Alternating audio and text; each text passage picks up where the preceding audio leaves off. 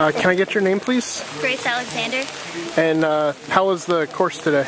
It was good. It was really fast. It was a little wet though, so. How much of a, a role was the rain?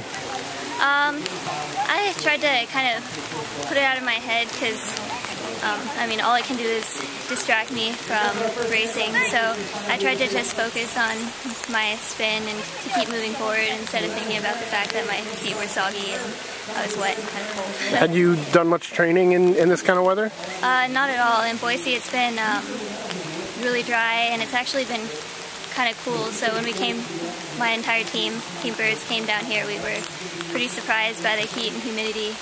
Luckily today it's not too hot, but and uh, humid and wet. The the um, success that BYRDS has had today, what do you attribute that to?